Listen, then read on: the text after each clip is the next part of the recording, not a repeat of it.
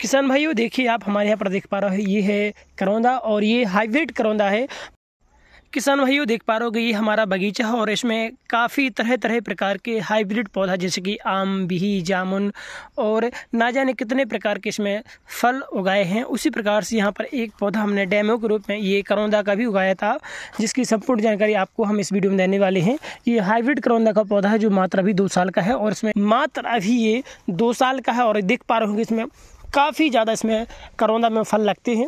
और देखिए, ये लगभग अभी 20 दिन के पहले मैंने जब यहाँ पर आया तो हल्का हल्का सा फूल दिख रहा था और 20 दिन बाद देखिए इसमें काफ़ी सारे फल लग चुके हैं।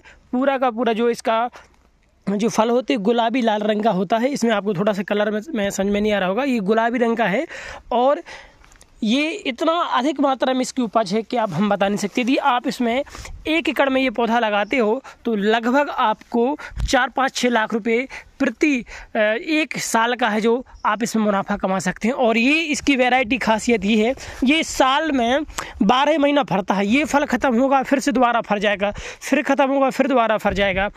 ये काफ़ी बढ़िया और अच्छी क्वालिटी का करौंदा हमारे पास है और इसकी काफ़ी सारी नर्सरी भी हमारे पास लगी हुई है। तो जिन किसान भाइयों को ये जाल चाहिए हो, वो मात्र उनको एक सौ प्रति पौधा के हिसाब से मिल जाएगा विथ गारंटी के साथ। तो जिन किसान भाइयों को भी रुचि है बागवानी में, क्योंकि हमारी परंपरागत खेती से हटकर तो वो इस प्रकार के फल भी लगा सकती है, डैमों के रूप में लगाया था, जो हमारे यहाँ पर आए थे कंपनी वाले उन्होंने, और बोला था कि आप इसको लगा के देखिए, दो साल के भीतर यदि ये मरता है और नहीं फरता है तो उसकी फुल गारंटी उनके पास है। तो ये काफ़ी अच्छा लगा, आपको कैसा लगा कमेंट करके ज़रूर बताएँ।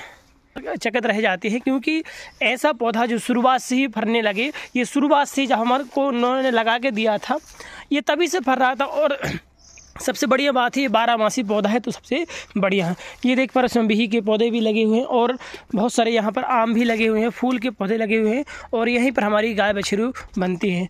तो पानी के स्रोत के रूप में हमारे यहाँ पर एक बड़ा सा यहाँ पर ट्यूबवेल कसा हुआ, कुआ भी है। जिसमें काफ़ी अच्छी सुविधा है पानी की। और ये देखिए, काफ़ी तरह के आम हैं जो अब तो यहाँ से निकल चुके हैं, क्योंकि अभी गर्मियों में काफ़ी अच्छे लगे हुए थे।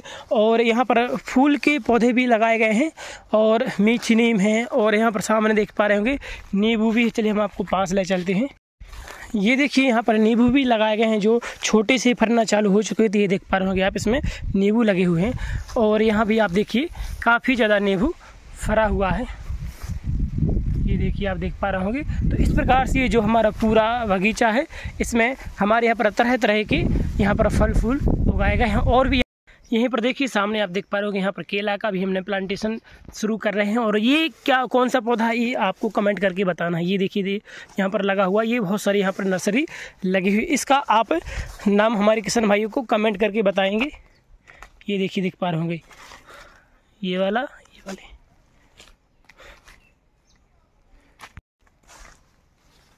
तो आपकी वीडियो कैसा लगा, कमेंट करके ज़रूर बताएँ और चैनल को अभी तक आपने सब्सक्राइब नहीं किया है तो कर लीजिए सब्सक्राइब। मिलते हैं आपको इसी प्रकार के एक और नेक्स्ट वीडियो में। जय हिंद, जय भारत, जय जवान, जय किसान।